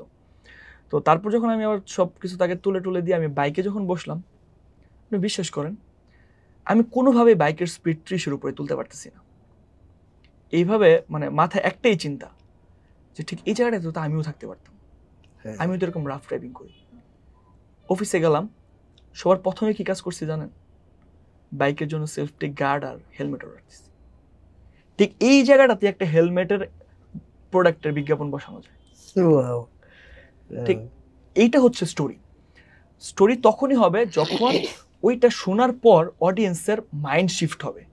আচ্ছা আচ্ছা। সে বুঝতে পারবে যে না আমি তাহলে এটা করতেছিলাম আমি এটা ভুল করতেছি। আমার অন্যটা করা উচিত ছিল। মানে আপনার একটা মাইন্ডসেট চেঞ্জ করতে হবে। যদি আপনার কথা থ্রুতে মাইন্ডসেট মানুষের চেঞ্জ না হয় তাহলে কখনোই ওইটা একটা প্রপার স্টোরি না। যেমন অনেকেই বলে ব্যবসা করেন ব্যবসা করেন। ব্যবসায় সফলতা এনে দিবে ব্যবসায় ফাইন্যান্সিয়াল ফ্রিডম এনে দিবে। বলতে পারে সবাই বলতে পারে। বাট লাইক আমি এখন ডিজিটাল কোচিং বিজনেস করে আজকে অনেক কিছু শেয়ার করলাম। হ্যাঁ। কীভাবে আমি ফ্রিডম অর্জন করতেছি? অনেকের মাইন্ড চেঞ্জ হতে পারে। অনেকে বলতে পারে না, তারা আমি হয়তো বা সারস ফার্দি ভাইয়ের মতো ডিজিটাল কোচিং বিজনেসে আসি। আমি তো পড়াইতে পারি। আমার তো কোনো স্কিল আছে। আমি হয়তো বা গ্রাফিক ডিজাইন জানি লোগো ডিজাইন জানি ডিজিটাল মার্কেটিং জানি, বা আমি অনলাইনে হয়তো বা ইংলিশ ভালো পড়াইতে পারি আরবি পড়াইতে পারি, আমি অনলাইনে চলে আসি। তার শিফট মাইন্ড শিফটটা কিন্তু হইতে পারে। তো যদি তার মাইন্ড শিফট হয়, তাহলেই আমার এই কথা বলার যেই প্রেক্ষাপট বা আমার এই কথা বলার যে ভ্যালু সেটা প্রপার হবে। কারণ তার মাইন্ডসেটটা চেঞ্জ হয়েছে এবং এটাই একটা প্রপার স্টোরি এখন আমি তাহলে এত কিছু আসলে কেন বলতেছি? পার্সোনাল আর ব্র্যান্ডিংয়ের ব্যাপারে বা যে কোনো ব্র্যান্ডের ব্যাপারে বা স্টোরির ব্যাপারে একটা বিষয় আছে। সেটা হচ্ছে দেখেন আমার সাথে কিন্তু মানুষকে রিলেট করতে পারতেছে না। আজকে আমি সারজ ফার্দি আমি যা খুশি তাই করি। হ্যাঁ। মানুষ এটা কেয়ার করবে না। মানুষের সাথে রিলেট করতে পারতেছে কোন জায়গাটাতে। আমি এখানে অনেকগুলা কথা বলছি। আমি হয়তো বা আমার ফ্রেন্ডদেরকে নিয়ে ঘুরি। আমি হয়তো বা আমার ওয়াশিং মেশিন কেনার স্ট্রাগলের কথাটা বলছি বাজার করার স্ট্রাগলের কথাটা বলছি। তো মানুষ ওই জায়গাটাতে রিলেট করতেছে। আচ্ছা আচ্ছা। একটা ক্যারেক্টার আমি কিন্তু একটা ক্যারেক্টার স্টোরিতে অ্যাজ এ বাই পডকাস্টে আমি কিন্তু একজন ক্যারেক্টার এক্স্যাক্টলি তো আমার সাথে মানুষ রিলেট করতে পারবে না। আমি হয়তোবা আমার একটা ব্যাক স্টোরি ছিল বা আজ থেকে তিন চার বছর আগে আমি একটা জায়গায় ছিলাম। ওই জায়গা থেকে আজকের আমি সারজ ফার্দি হওয়ার যে জার্নি মানুষ ওই জার্নির যে কোনো একটা পয়েন্টটা নিজেকে রিলেট করে। ঠিক যেই জায়গাটাতে রিলেট করে এরপর থেকে তার সাথে আমার একটা ইমোশনাল কানেকশন তৈরি হয়ে যায়। এবং এটা যদি অনেক লং টাইম ধরে হয় তারপর আমি তার কাছে যে কোনো কিছু চাইলে বিক্রি করতে পারি। এটাই আচ্ছা। পার্সোনাল ব্র্যান্ডিং বা যে কোনো ব্র্যান্ড বা বড় বড় কোম্পানিরা ঠিক এই কাজটাই করে। এই জন্যই তারা স্টোরির পিছনে এত সময় দেয়। কিন্তু আমাদের আমরা আসলে খুব দ্রুত ব্যবসার সেলস জেনারেট করতে যায় খুব এগ্রেসিভলি অ্যাড চালাতে যায় আমরা হয়তো কিছু প্রোডাক্ট বিক্রি করি কিন্তু আলটিমেটলি দিন শেষে আমাদের ওই লং টার্ম ভ্যালুটা হয় না। আমাদের ওই দিন শেষে যে আমাদের একটা ব্র্যান্ডিং ওই ব্র্যান্ডিং এর জায়গাটা আমাদের হয় না। আর শুধু অ্যাডভার্টাইজিংই করা যায় যেদিনই আমাদের ডলার স্পেন্ডিং অফ ওই দিনই আমাদের ব্যবসা বন্ধ। তাহলে আপনার আলোচনা থেকে আমি যে দুইটা পয়েন্ট পিক করতে পারলাম একটা হচ্ছে যে স্টোরির স্টোরির ভিতরে প্রথমে কানেকশন ডেভেলপ করতে হবে ইউজারের সাথে যেন সে বাকি মেসেজগুলো আপনার কাছ থেকে শুনতে চায়। আরেকটা বিষয় হচ্ছে আমরা সামটাইমস লক্ষ্য করি যে অনেক স্টুডি টেলার যারা আছে, বিশেষ করে বিগিনার যারা, তারা মাল্টিপল উদ্দেশ্য সাধন করতে চাই হচ্ছে একটা সিঙ্গেল স্টোরির মাধ্যমে। যে আমি এই স্টোরির মাধ্যমে আমি তিন চারটা ডিসিশনকে প্রভাবিত করতে চাই। আপনার মতে এটা কি একাধিক ডিসিশনের জন্য একটা স্টোরি হওয়া উচিত, নাকি একটা সিঙ্গেল ডিসিশনের বিপরীতে একটা সিঙ্গেল স্টোরি হওয়া উচিত? এইখানে আচ্ছা। আপনি কীভাবে প্রথমত ব্যাপার হচ্ছে আমি যে জায়গা থেকে এখন কথা বলতেছি এটা এক্সপার্টিস লেভেল থেকে কথা বলতেছি। কেন বলতেছি? কারণ বাংলাদেশে আমি অনেক স্টোরি টেলিং এর কোর্স দেখছি ভিডিও দেখছি আমি নিজেও রিসার্চ করছি। বিল্ডিং এ স্টোরি ব্র্যান্ড নামে একটা বই আছে ডোনাল্ড মিলেটের হ্যাঁ এখানে সেভেন স্টেপের একটা ফর্মুলা শেয়ার করা আছে। এটাই সবাই জাস্ট ডুপ্লিকেট করে কপি করতেছে সবাই সবার মতো ফ্রেমওয়ার্ক দিয়ে বসায় করতেছে যার কারণে এটা খুবই কপি হয়ে গেছে। এত পরিমাণে কপি হয়েছে এখন কেউ এটা করতে চাইলেই অডিয়েন্স বুঝে ফেলে যে পরের ঘটনাটা কি হবে। হ্যাঁ। সো আমি যেহেতু প্রচুর রিসার্চ করছি নতুন নতুন আরও স্ট্র্যাটেজি বের করছি ফর্মুলা বের করছি। সো আমি চাইলে একটা ভিডিওতে দশ মিনিটের একটা ভিডিওতে মানুষের কয়েকটা মাইন্ডসেট চেঞ্জ করতে পারব। কিন্তু এটা নতুনদের জন্য করা উচিত হবে না। আচ্ছা, যেমন দেখেন একটা ভিডিওতে অনেকগুলো মেসেজ থাকে কিন্তু কোর মেসেজ থাকে একটা। হ্যাঁ। যেমন আমি একটু আগে যে উদাহরণটা বলতেছিলাম সেখানে আমি প্রথমে বোঝানোর ট্রাই করতেছিলাম জুড়ে বাইক চালানো উচিত না। তারপর বুঝাইতেছিলাম সেফটি গার্ড পরা উচিত। তারপর সে বুঝতেছিল যে সেফটি গার্ড না থাকলে অ্যাক্সিডেন্ট হলে কি ঘটনা ঘটতে পারে। তারপর আমি লাস্টের দিকে হেলমেটের একটা অর্ডারের বিষয় আনলাম। তো এখানে কিন্তু কয়েকটা মেসেজ আছে। হ্যাঁ। কিন্তু আমার কোর মেসেজ হচ্ছে সেফটি ড্রাইভিং সো মেসেজ অনেকগুলো থাকতে পারে কিন্তু কোর মেসেজ একটা থাকতে পারে। এটা হচ্ছে যারা বিগিনার শুরু করবে। যারা এক্সপার্টিস তারা হয়তো বা দশ মিনিট একটা ভিডিওতে একটা মাইন্ডসেট ছিল অডিয়েন্সের সেটা চেঞ্জ করে অন্য একটা মাইন্ডসেটে আনছে। তারপর ওইটাকে শিফট করে আরেকটু তার যে নিজের প্রোডাক্ট বা নিজের ব্র্যান্ডিং ওই দিকে নিয়ে গেছে। এটা মাল্টিপল করা সম্ভব যদি সে এক্সপার্ট লেভেলের স্টোরি টেলার হয়ে থাকে তখন। আদারওয়াইজ অডিয়েন্স আসলে ডিস্ট্রাক্টেড হয়ে কি করবে এটাই বুঝতে পারবে না। যে কি করা উচিত আমার? সে কোনটা করব? মানে অডিয়েন্স এখানে আসলে কনফিউজড হয়ে যাবে। আর মানুষ তো কখনোই কনফিউজড অবস্থায় কোনো প্রোডাক্ট কিনবে না অবশ্যই। তাই এই জন্য শুরুতে এই কাজটা না করাই বেটার মাল্টিপল মাইন্ডসেট চেঞ্জ করার চিন্তা ভাবনা করা। আচ্ছা আচ্ছা। আরেকটা বিষয় আপনি বলেন, এই যে স্টোরি টেলিং এর মাধ্যমে কোনো একটা ব্র্যান্ড বা ব্যক্তি পার্সোনাল ব্র্যান্ড যখন সে নিজেকে তৈরি করবে বিজনেস ব্র্যান্ড বা পার্সোনাল ব্র্যান্ড ওই জায়গায় একটা ইউনিকনেসেরও তো প্রয়োজন আছে। কারণ আসলে একই রকমভাবে যদি দশটা, বিশটা, পঞ্চাশটা ব্র্যান্ড সিমিলার ফাংশন করে, তাইলে তো আসলে এইটাও একটা জেনারেল ব্র্যান্ডের মতো হয়ে গেল। ইউনিকনেসের জায়গাটা তো থাকা দরকার। এখন আপনি কি মনে করেন যে স্টোরি টেলিং এর মাধ্যমেও এই ইউনিকনেসটা নিয়ে আসা পসিবল হ্যাঁ অবশ্যই। বা কীভাবে যেমন আমি যেই আমার স্টোরিটা শেয়ার করলাম সেম স্টোরি কি অন্য কেউ শেয়ার করতে পারবে? আপনার লাইফের স্টোরি কি সেম সেম না। আপনারও ভিন্নতা আছে আমারও ভিন্নতা আছে। আমার কীভাবে আসলে বোধটা হয়েছে আমার এই বিজনেসে আসা উচিত? আমার হ্যাঁ। একটা চিন্তা ভাবনা আপনার একটা চিন্তা ভাবনা এরকম প্রত্যেকটা মানুষেরই কিন্তু আলাদা আলাদা চিন্তা ভাবনা একই কাজ করতে যাচ্ছে কিন্তু তার চিন্তা ভাবনা সেম হইতে পারে। যেমন আহ, একজন মানুষ ব্যবসা করতে যাচ্ছে বা যে কেউ ব্যবসা করতে যাচ্ছে এটা অনেকগুলো অ্যাঙ্গেল হইতে পারে। কেউ হয়তো বা শুনছে ইসলামে চাকরির চেয়ে ব্যবসা ভালো ব্যবসা করতে যাচ্ছে। কেউ হয়তো বা শুনছে ব্যবসা করে ফাইন্যান্সিয়াল ফ্রিডম অর্জন করা যায় তাই সে ব্যবসা করতে যাচ্ছে। কেউ হয়তো বা শুনছে যে খুব কম টাইমে ব্যবসা সফলতা অর্জন করা যায় এই জন্য আসতে যাচ্ছে। কেউ বা চিন্তা ভাবনা করতেছে ব্যবসায় একমাত্র আমার জীবনের ধ্যান জ্ঞান এই জন্য আসতে যাচ্ছে। কেউ হয়তো বা চাকরি ভালো করতে পারতেছে না দিকে ব্যবসা করতে যাচ্ছে। পয়েন্ট একটাই এক একজন এক এক কারণে করতে যাচ্ছে। তো আচ্ছা, যখন এক একজন এক এক কারণে করতে যাচ্ছে সে একটা প্রোডাক্ট আনছে সে একটা সার্ভিস আনছে বা সে নিজেকে এই ব্র্যান্ড হিসেবে এস্টাবলিশ করতে যাচ্ছে তার পিছনে তো একটা কারণ আছে। ওই কারণটাই তো তার ইউনিকনেস যে আমি ঠিক এই কারণে করতে চাচ্ছি। তখন ওই ইউনিকনেসের সাথে যেমন আমি বললাম আমি চাচ্ছি এক হাজার মানুষকে যাদের থ্রুতে অনলাইনে মানে এক হাজার মানুষ সিলেক্ট করা বা তাদেরকে গাইড করা যারা অনলাইনে লাখ লাখ স্টুডেন্টদেরকে পড়াবে। তো ওইরকম অনেক মানুষের তো চিন্তাভাবনা আছে। এখন আমার চিন্তা ভাবনা এরকম হতে পারতো যে আমি চাই এক লাখ মানুষকে কোটিপতি বানানো। তাহলে তখন আমি যে কাস্টমারের সাথে আমার কানেকশনটা তৈরি করতাম, সেটা আলাদা থাকতো। তো এই স্টোরির ভিত্তিতে অবশ্যই ইউনিকনেস আনা সম্ভব। আচ্ছা আচ্ছা আরেকটা সিচুয়েশন আমি আপনাকে বলি। যেমন ধরেন ধরেন আমি একজন নিউ উদ্যোক্তা। আমার বিজনেসের বা সোসাইটিতে তেমন কোনো ইম্প্যাক্ট অলরেডি ফেলা নাই আর কি। আমি যখন বিজনেস শুরু করব, আমি তো চাইলে যে কোনো একটা জায়গায় আমার ব্র্যান্ডিংয়ে এস্টাবলিশ করার জন্য স্টার্ট করতে পারি।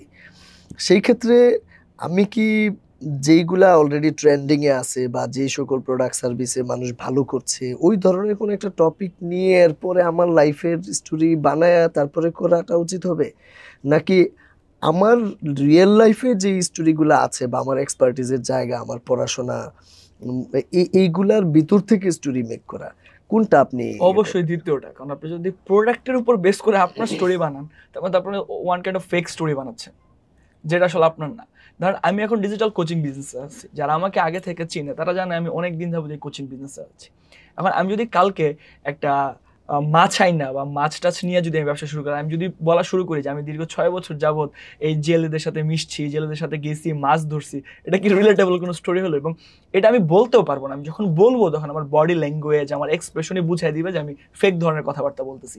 এবং এখনের অডিয়েন্স এত পরিমাণে স্মার্ট তারা চোখের আই কানেকশন দেখেই বুঝে বুঝে দিতে পারে যে উনি কি আসলে সত্য কথা বলতেছে না মিথ্যা কথা বলতেছে। সো অবভিয়াসলি আপনার লাইফের একটা স্টোরি আপনি একটা কাজ করছেন না আপনি লাইক ডিজিটাল মার্কেটিং শিখছেন। একটা কারণে তো শিখছেন। আমি হয়তো বা ফ্রিল্যান্সিং শিখছি একটা কারণে তো শিখছি। বা কেউ হয়তো বা অনলাইনে মাছ বিক্রি করা শুরু করছে সেটা একটা কারণে শুরু করছে। হ্যাঁ। সো ওই কারণটাই তো তার অরিজিনাল একটা স্টোরি এখন সে যদি বানাইতে চায় তাহলে এটা মানে এখানে অনেক ধরনের স্টোরি আসবে এবং দেখা যাবে সে এক একবার এক এক ধরনের স্টোরি বলতেছে। একই স্টোরি মেসেজ এক এক রকম। আচ্ছা আজকে আমি আপনার সাথে এই কথা বলতেছি কালকে আরেক জায়গায় যাই আমি অন্যরকম ভাবে বলতেছি। আচ্ছা যে অন্যরকম ভাবে যেহেতু ফেক স্টোরি যেহেতু ফেক স্টোরি এবং দেখা যাবে যে আসলে এমন একটা অবস্থা হবে আমি কাকে কি বলতেছি এটাই বুঝতেছি না। মানে এমন ওই যে একটা টার্ম আছে এরকম যে আমি আসলে জীবনে এত পরিমাণে মিথ্যা কথা বলছি যে আমি কারে কোনটা বলছি এখন এটাই বুঝতে পাইতেছি না। আচ্ছা ব্যাপারটা যে ওইরকম হয়ে যাবে যদি কেউ ফেক স্টোরি বানাইতে চায়। এই জন্য এবং সবচেয়ে বড় ব্যাপার হচ্ছে কি স্টোরি ট্রেলিং এর মধ্যে আপনার অনেস্টিটা হইতেছে সবচেয়ে বড় এলিমেন্ট আচ্ছা আচ্ছা। আপনাকে অনেস্ট থাকতে হবে।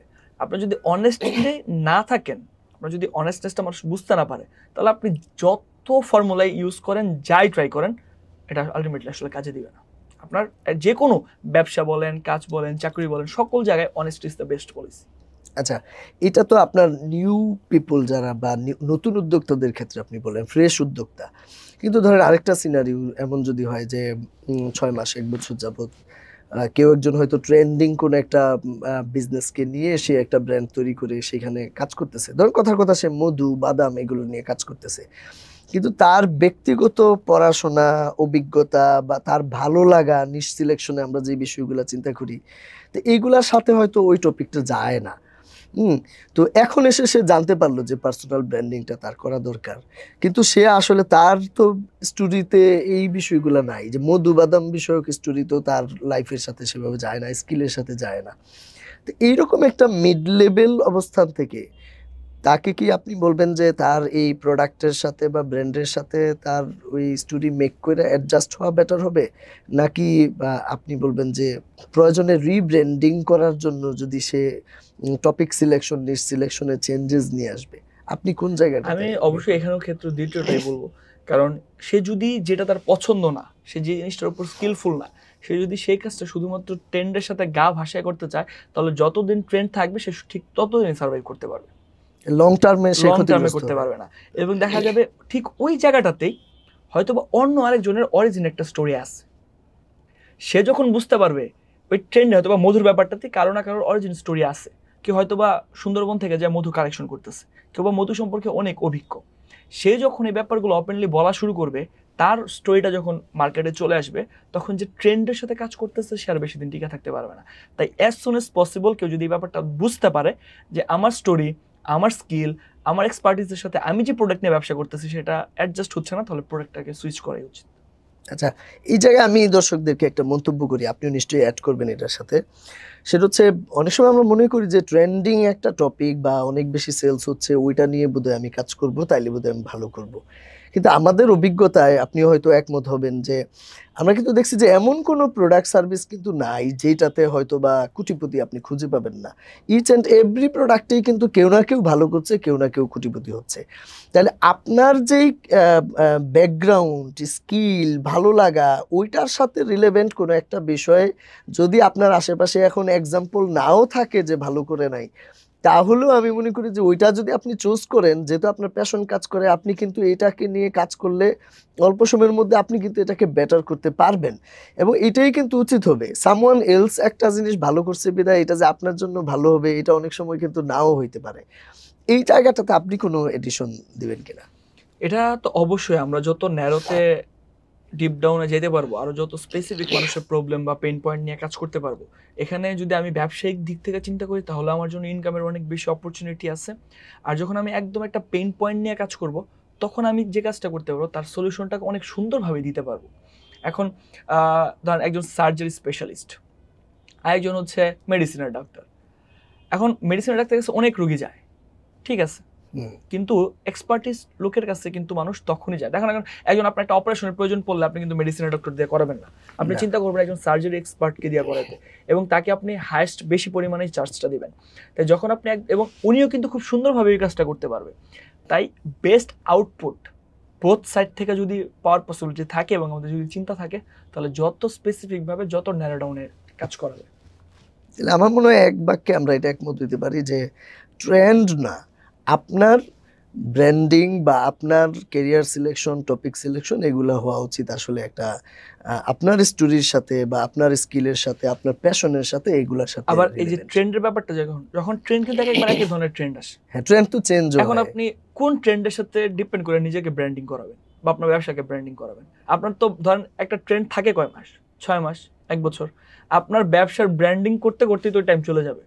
তারপর আবার আপনি নতুন ব্যবসা আবার নতুন ব্র্যান্ডিং এভাবে না হবে আপনার আসলে আপনার ব্যবসা না হবে আপনার ব্র্যান্ডিং আলটিমেটলি আপনার মনে হবে হয়তো আপনি কিছু ক্যাশ ফ্লো পাচ্ছেন কিছু ক্যাশ আসতেছে কিন্তু লং টার্ম যখন আপনি চিন্তা করবেন একটা টাইম যাওয়ার পর মার্কেটে আপনার গ্রহণযোগ্যতা হারাবে। তখন আপনি যেটা নিয়েই কথা বলতে চান মানুষ আপনার সম্পর্কে নেগেটিভ কথাবার্তা বলবে। ইভেন ওই তুলনামূলক কম পরিমাণ হয়তো বা সাকসেসফুল পিপল আপনি পাচ্ছেন। এটা একটা অপরচুনিটিও বটে যে ওইখানে এখনও তেমন কেউ সাকসেস হয় নাই সুতরাং আপনি কিন্তু আপনার পেশনের জায়গাটাকে কাজে লাগায় ওইখানে একটা বড় অবস্থান তৈরি করাটা। এটা বরঞ্চ অনেক বেশি ইজি হবে।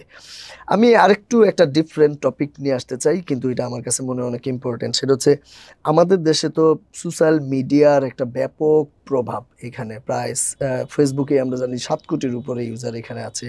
ইউটিউবে একটা বড় শ্রেণি আছে টিকটকে একটা শ্রেণি আছে।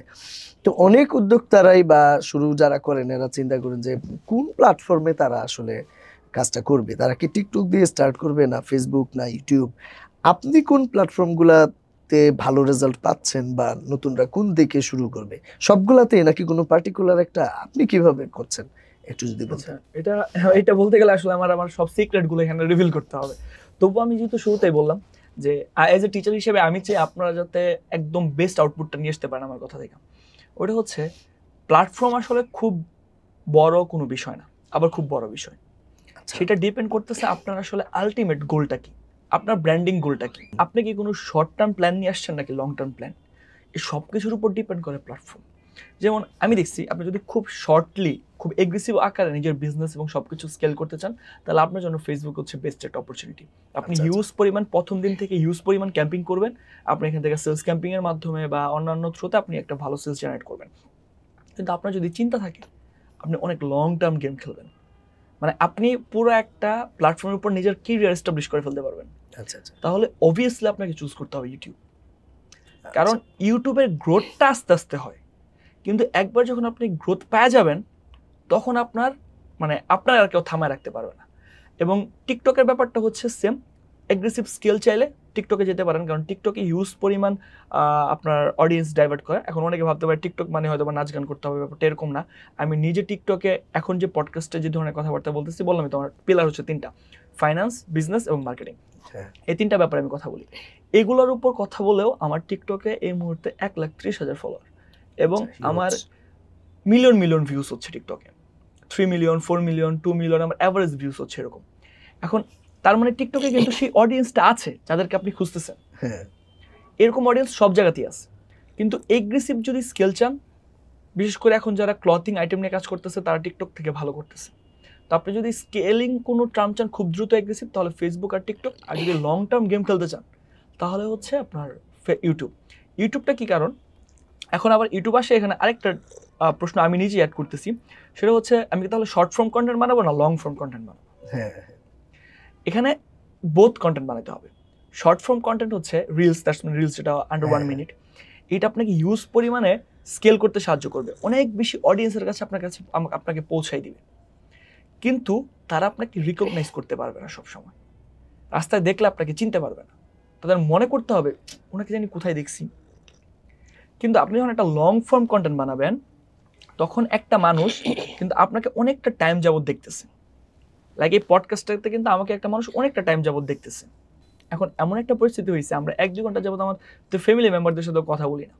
সেখানে একটা মানুষের কথা যখন আপনি এক দেড় ঘণ্টা যাবত শুনবেন তখন আপনার মনে তার জন্য একটা আলাদা ক্রেডিবিলিটি তৈরি হবে। আলাদা একটা ট্রাস্ট ইস্যু তৈরি হবে। কারণ হ্যাঁ। দুই ঘণ্টা শুনে ফেলছেন যেখানে হয়তো সপ্তাহে দুই ঘণ্টা ফ্যামিলি মেম্বারদের সাথেও কথা হয় না। তাই ওই আবারও বললাম শর্ট টার্মের জন্য রিলস আচ্ছা। লং টার্মের জন্য হচ্ছে আপনার লং ভিডিও আর রিলস টিকটকেও দিতে পারেন ফেসবুকেও দিতে পারেন ইউটিউবেও দিতে পারেন আর লং ভিডিও আপনি ইউটিউব আর ফেসবুক এই দুটাকে কেন্দ্র করে দিতে পারেন এবং আমার আলহামদুলিল্লাহ ইউটিউবের গ্রোথই সবচেয়ে ভালো।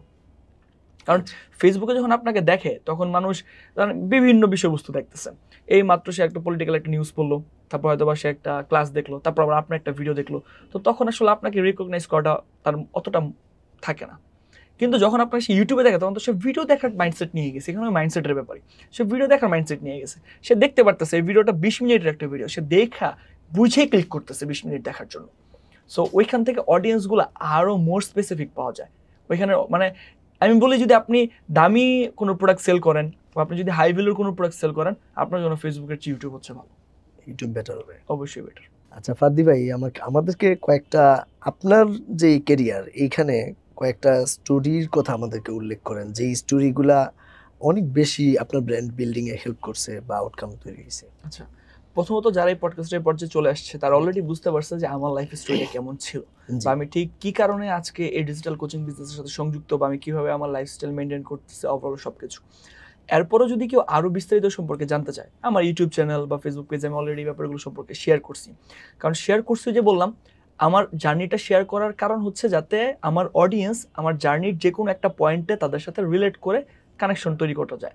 এবং পরবর্তীতে আমি তাদের কাছে কোনো কিছু একটা সেলস যেটাই আসলে প্রবলেম মেইন পারপাস যে কোনো একটা বিজনেস বা একটা স্টোরি মার্কেটিং এর তো মেইন পারপাস হচ্ছে যাতে আমি সেলস জেনারেট করতে পারি। সো ওই কাজটা করা হয়।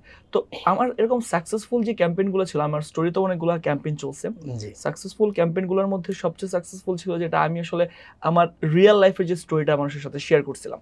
হ্যাঁ। যে কেন আমি আসলে এই অনলাইন সেক্টরে আসলাম? আমার কেরিয়ার আমি কিন্তু এখন এখানে বলি না যে আমার কেন আসলে এই কেরিয়ারটাই চুজ করলাম। আমি বলছি এই কেরিয়ার চুজ করার কারণে আমি কি কি সুবিধা পেয়েছি। কিন্তু আমি কেন এই ক্যারিয়ারটা চুজ করলাম? আমার ফ্যামিলি সবাই কর্পোরেট জব হোল্ডার ছিল। তাদের আসলে দেখা যেত নাইন টু ফাইভ জব করতে হইতো। যে কোনো একটা মেডিকেল ইমার্জেন্সি হলে টাকা পয়সা ঋণ করতে হইতো। তো ওই জায়গাগুলো থেকে কীভাবে আসলে বের হয়ে আসা যায় এটা নিয়ে আমি চিন্তা ভাবনা করতেছিলাম। তো ওই পারপাসে আমি আমার লাইফের এই ডিরেকশন খুঁজে বের করি।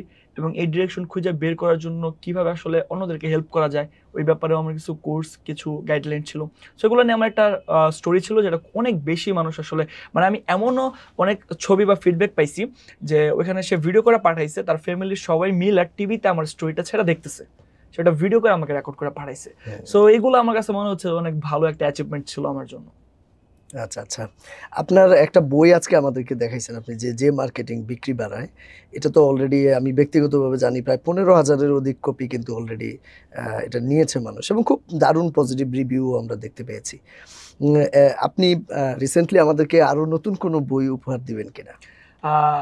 এবছর আমি যে মার্কেটিং বিক্রি বাড়াই বইটা যখন শুরু করি তখন আসলে বইমেলাটা প্রায় শেষ হয়ে যায়।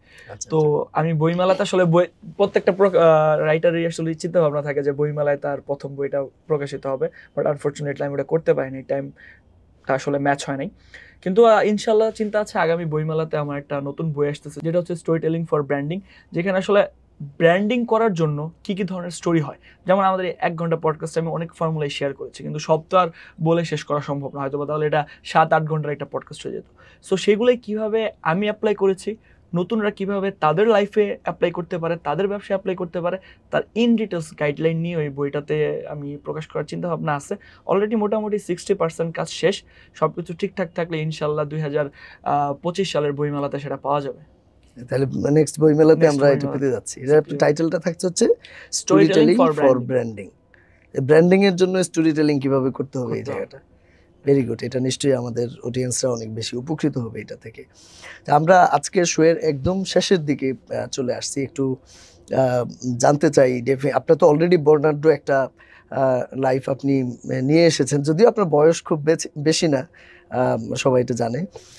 এই জায়গার থেকে ফিউচার কেন্দ্রিক আপনি কি কি বিষয় নিয়ে চিন্তা করছেন বা আপনার ফিউচার সম্পর্কে আইডিয়া বা কি করতে চাচ্ছেন এই বিষয়ে যদি আমাদেরকে একটু বলতেন। আচ্ছা অলরেডি আমার কথার মাধ্যমে অনেকেই হয়তো বা বুঝতে পেরেছেন যে সেটা হচ্ছে আমি চাচ্ছি আমার মতো আরও অনেক মানুষকে তৈরি করতে। আচ্ছা, আমার মতো কারণ অনেকেই কমেন্টে বলে যে কীভাবে আসলে ভাই আপনার মতো হওয়া যায়।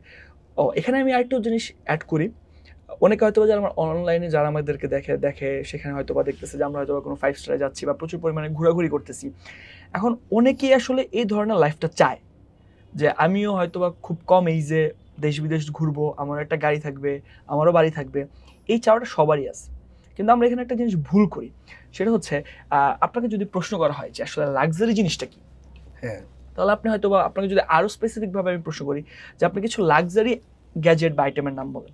বেশিরভাগ ক্ষেত্রে আসবে আইফোন বা একটা কার হুম। বা একটা ম্যাকবুক বা একটা ফরেন ট্যুর কিন্তু আসল এগুলো কিন্তু লাক্সারি আমাদের কাছে কারণ আমরা এগুলো এফোর্ড করতে পারতেছি না। দ্যাটস ওয়াই এটা আমাদের কাছে লাক্সারি কিন্তু যারা এফোর্ড করতে পারতেছে তাদের কাছে কিন্তু একটা আইফোন কিনা কোনো ম্যাটার না। তাদের কাছে একটা গাড়ি কিনা কোনো ম্যাটার না। আপনি খেয়াল করে দেখবেন লাক্সারি প্রোডাক্টের অডিয়েন্সও তারা যারা নিজেদের নিজেদের একটা লাক্সারিয়াস ফিল করাইতে চায় বাট তারা আসলে রয়্যাল না। যখন বিভিন্ন ব্র্যান্ডের অ্যাড ক্যাম্পেইনগুলো করা হয় সেক্ষেত্রে মানে যে সকল গ্যাজেট লাইক আইফোনের ক্ষেত্রে আপনি দেখবেন অনেক অ্যাড বা অনেক ধরনের কন্টেন্ট এরকম কিডনি বিক্রি করে আইফোন কিনে আনলাম বা আইফোন কিনতে চাই এই কন্টেন্টগুলো কেন আসতেছে? কারণ বাংলাদেশের পার্সপেক্টিভে আমরা বেশিরভাগ মানুষ আসলে সোশ্যাল মিডিয়াতে শো অফ করতে চাই। দেখেন আমি যে লাইফস্টাইল স্পেন্ড করতেছি এটা আমার পছন্দ বিদায় আমার আচ্ছা, আচ্ছা। ব্যক্তিগত পছন্দ। কিন্তু অনেক মানুষ এই লাইফস্টাইলটা স্পেন্ড করতে চায় কারণ ফার্দি ভাই এটা করতেছে।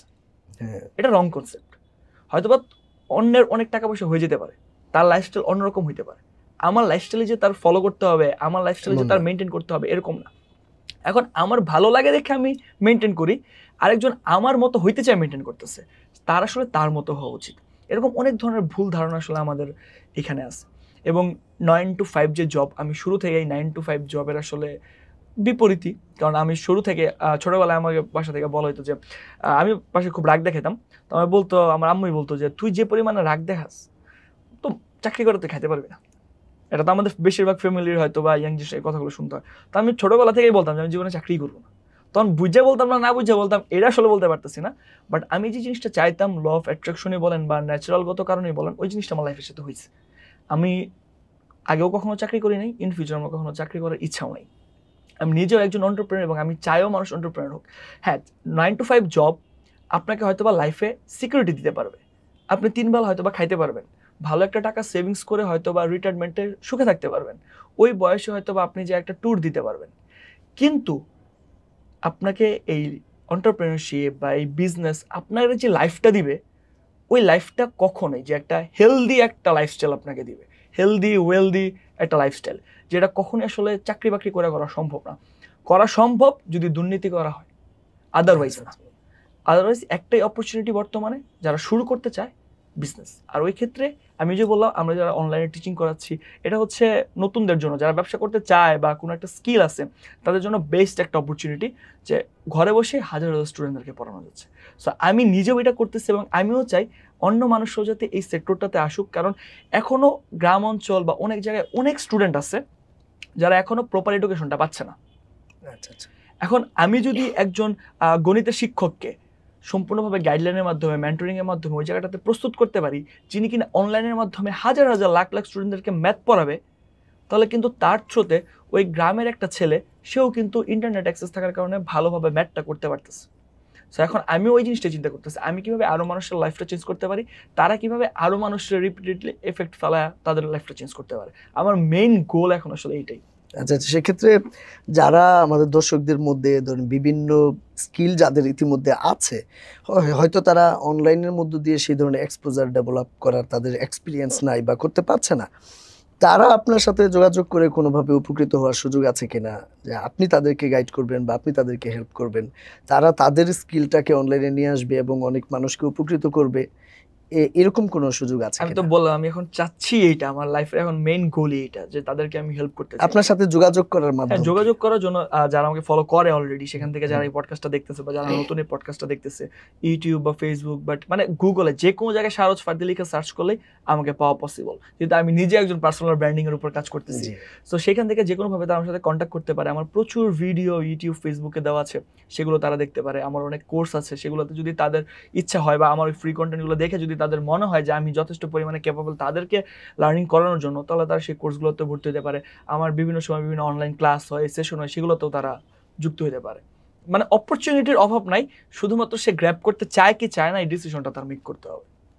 দেখ আলহামদুলিল্লাহ, আজকে আমরা অত্যন্ত চমৎকার একটা আলোচনার মধ্য দিয়ে, বিশেষ করে তুলনামূলক নতুন কিন্তু খুবই প্রয়োজনীয় topic personal branding story telling এগুলো নিয়ে আমরা জানলাম এবং ব্যক্তিগতভাবে আমি নিজেও ইন্সপায়ার্ড যেই বয়সে বাংলাদেশের প্রেক্ষাপটে মানুষ অনার্স মাস্টার্স পড়াশোনা করে কেরিয়ারে ঢুকেও না বা মাত্র ঢুকবে, চিন্তা করে ওই এজে কিন্তু আমরা ফার্দি ভাইকে দেখলাম যে তিনি কিন্তু অনেকটা ইউরোপ আমেরিকার লাইফ স্টাইল তিনি কিন্তু অলরেডি অ্যাচিভ করেছেন।